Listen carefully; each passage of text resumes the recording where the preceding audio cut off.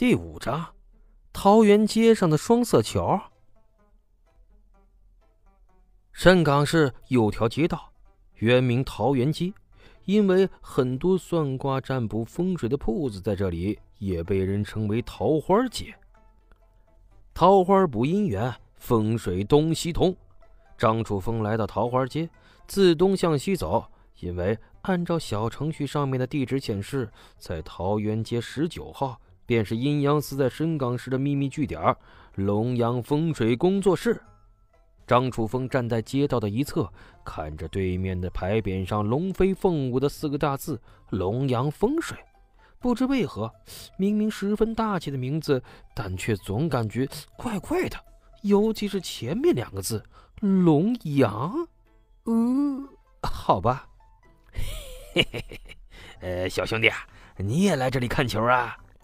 张楚风被旁边经过的一名三十多岁、眼神怪异的男子搭讪，就是一愣：“看看球？双色球啊！你站在龙阳风水对面，难道不是来看双色球的？”张楚风皱了皱眉头，有些听不懂这人在说什么。都说这桃源街又叫桃花街，算卦测姻缘的多，所以灵异事情也多。难道面前这位是中了邪不成吗？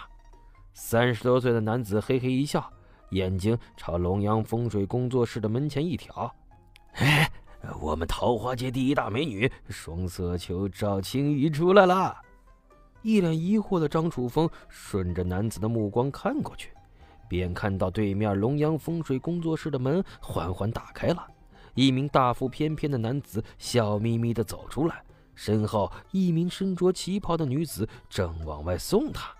女子步伐妖娆，一颦一笑之间明眸动人，一双桃花眼似乎随时都能将你的魂勾走一般。旗袍之下凹凸有致的傲人身材，虽然领口严实，但胸前一对峰峦绝对不是凡间布匹所能够掩盖的仙山，高耸入云，摄人心神呐！张楚风终于明白了。刚才那三十多岁男子为何眼中充满了怪异，也明白了为何这名叫做赵青雨的女子会有“双色球”的绰号。呵呵，的确是个球啊！随着赵青雨送走客人，走进工作室，在马路对面围观的几个人才渐渐散去。张楚风却朝着马路对面走了过去。小兄弟，你还要进去看看呀？张楚风也不多解释，来到工作室门口，按了一下旁边的门铃。听到有人按门铃，赵青雨马上过来开门。小朋友，有什么需要吗？赵青雨的声音妩媚动人，尤其是“需要”两个字，简直就是男性杀手啊！仅仅是声音上的撩人心弦，张楚风还能坚持，但此时自己站在台阶上。目光正好落在一对峰峦之上，张楚风脸一红，不好意思咳嗽了两下。那个，呃，那个，我是来……突然，张楚风身后有人撞了他一下。这一撞不要紧，因为自己站在台阶上，更上面才是赵青雨。于是自己的脸一下子就撞在了赵青雨的胸前。街对面几个还没有散去的人瞪大了眼睛。哦后面是小道士，是他找来做帮手的吧？在后面不小心撞到张楚风的小道士马上道歉：“对不起，对不起，我看到门开了，以为能直接进去呢，没想到你们没动，对不起，对不起啊！”此刻，张楚风红着脸，赵青雨的脸也通红。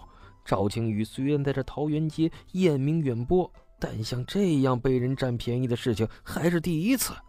此时，赵青宇的目光之中，甚至透露出了一丝杀机。你们两个进来。这一刻，赵青宇的声音是从未有过的凶悍。张楚风和身后的小道士战战兢兢地跟着走了进去。呃，我我叫张楚风，你怎么称呼？张楚风看着后面的小道士，低着头，脸比赵青宇还红。而且这小道士就是之前自己在窗户边看到被楚江王暴打的小道士。我我我叫张玄玉。小道士有点腼腆，说话的时候都不敢看人。这时，赵青宇朝着两个刚要聊起来的年轻人喊道：“来这个房间。”两个人马上进去，发现是一间很小的办公室，在办公桌对面放着两张椅子。赵青宇让两人坐下之后，便离开了办公室。张楚风马上施展千里眼、顺风耳，随着自己心念一动，闭上眼睛的张楚风看到了扭动腰肢的赵青宇走进了另一个房间。另一个房间也是一间办公室，只见青着眼眶、脸上还有抓痕的男子正低着头看手机。两个实习生都到了吗？倒是到了，不过有一个小子不太老实，不行，我要好好教训他一顿。张楚风听到赵青宇语气之中的愤怒，就知道了，这个要被教训的一定是自己了。不怕新人本事差，就怕新人太傲气。等会儿老周就回来了。让老周出手吧。不知为何，一提到老周的时候，张楚风注意到了赵青宇一脸不屑和鄙夷。这时，工作室门口进来了一个年近四十的中年人，穿着颇显破旧的皮夹克，头发杂乱，胡子也很久没有刮了，嘴里叼着烟。刷卡进来之后，就朝着赵青宇打了声招呼。赵青宇笑了笑，将两份表格递了过去。周副队长，正好刚刚来了两名实习生，交给你了。说着，赵青宇凑到老周的耳边低语了一句：“有关系户。”